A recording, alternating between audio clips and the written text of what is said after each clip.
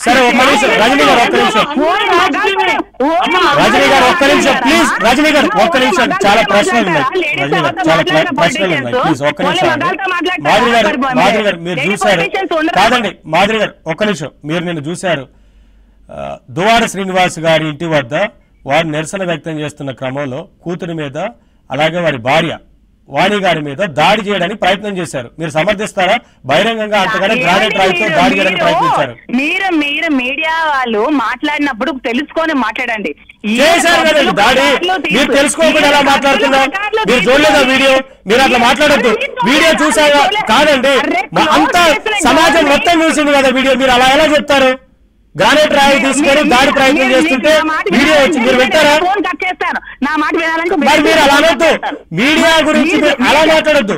అందరికీ తెలిసిందే కదా మొత్తం కాదండి సమాజం మొత్తం చూసిన వీడియోని ప్రజల ముందు పెడుతూ ప్రశ్న అడుగుతుంటే మీరు అలా అలా మాట్లాడతారు? లెట్ మీ కంప్లీట్ ఆవిడ ముందు ఎంట్రన్స్ డోర్ లాక్ చేసిన ఇంటిని మొత్తం కూల్ చేసుకొని డోర్స్ని పెద్ద పెద్ద రాడ్లు పెట్టి కూల్ చేసి మీదకి రాడ్ పట్టుకొని వెళ్తే మరి వాళ్ళ మీదకి ఎవరైనా సెల్ఫ్ ప్రొటెక్షన్ చేసుకోరా? మీరు చేసుకోరా మీ మీదకి ఎవరైనా అది వస్తే సెల్ఫ్ ప్రొటెక్షన్? చేసుకున్నట్లుందా అండి? అంతమంది పట్టుకుంటున్నా ఆయన ఆగుతున్నారా? అంటే మీదకి వెళ్తే మరి ఆ- ఆగ- ఆగరా? సెల్ఫ్ ప్రొటెక్షన్ చేసుకునే తీరా అది?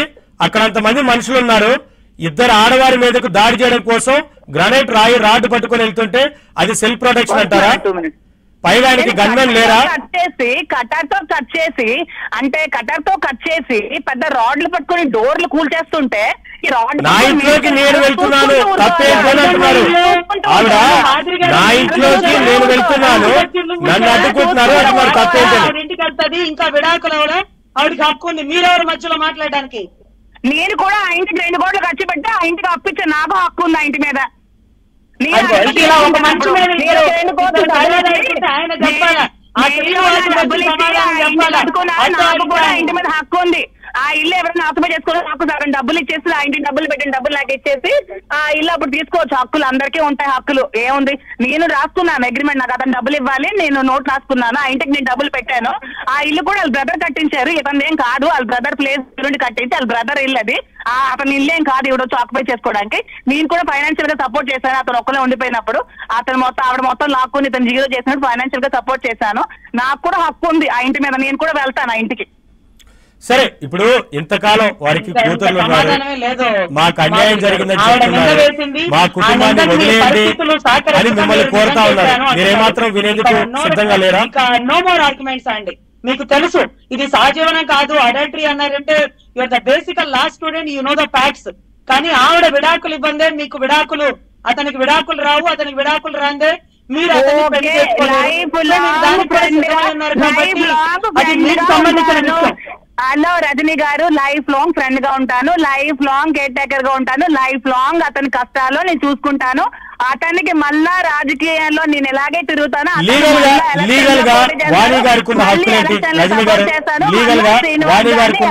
గెలిపించుకోవడానికి నా సర్వ హక్కు నా సర్వ ఇది నేను చేస్తాను. నేను ఏం చేయాలో అది చేస్తాను. కాదండి వారి కుటుంబం కదా వారికి లీగల్గా విడాకులు అవ్వకుండా మీరెలా లైఫ్ లాంగ్ కలిసి ఉంటా అంటారు? లీగల్గా ఏం చెప్పాను కదా ఫ్రెండ్గా లైఫ్ లాంగ్ బెస్ట్ ఫ్రెండ్స్గా ఉండొచ్చు. దాంట్లో ఏముంది? ఇదైనా ఫిజికల్ కాంటాక్ట్ కాదు కదా వెళ్ళడానికి. మెంటల్ కాంటాక్ట్ ఇది. ఇది ఒక ఫ్రెండ్షిప్గా ఇప్పుడు అరవై సంవత్సరాలు ఆయనకి ఒక ముప్పై మూడు సంవత్సరాలు ఫిజికల్ కాంటాక్ట్ ఏముంటది? ఫిజికల్ రిలేషన్షిప్ మీరు తప్పుగా అర్థం చేసుకోవాల్సిన అవసరం లేదు. మెంటల్ బాండింగ్ ఇది. ఒక మెంటల్గా ఒక ఫ్రెండ్షిప్గా అతని కష్టంలో నేను ఉంటాను. గారికి చెప్పండి. గతంలో పవన్ కళ్యాణ్ గారి మీద ఎలిగేషన్ వేసినప్పుడు ధర్మపత్ని తొక్క తోలు తొండం అంటూ చాలా మాట్లాడారు.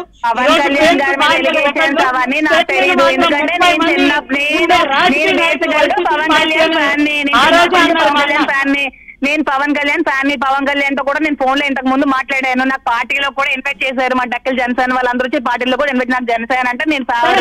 జనసేన పవన్ కళ్యాణ్ నేను ఎప్పుడు చెప్పండి. పవన్ కళ్యాణ్ నేను సరే, కాదండి. చెప్పండి. మహిళకు అన్యాయం జరిగిన విషయం గురించి మాత్రం ఆ విషయం గురించి మాత్రమే మాట్లాడదాం. వాణి గారికి అన్యాయం జరిగింది అనేది ఇవాళ వారి కుటుంబం మొత్తం చెప్తా ఉన్నారు. వారి కుటుంబం అంతా వారికి అండగా నిలబడతా ఉంటున్నారు. లీగల్గా ఆవిడకే అన్ని రైట్స్ ఉంటాయి వారి కుటుంబానికే ఉంటాయి. కానీ మీరు ఎట్టి పరిస్థితుల్లో ఈ మధ్యలో వస్తే రేపటి రోజున చట్ట ప్రకారం మీరు కూడా ఇబ్బందులు ఎదుర్కోవాల్సి ఉంటుంది అనే విషయం మీకు తెలియదా చట్టపర చట్టపరంగా ఏమి ఇబ్బంది ఇబ్బందులు ఉంటే అవన్నీ ఎదుర్కో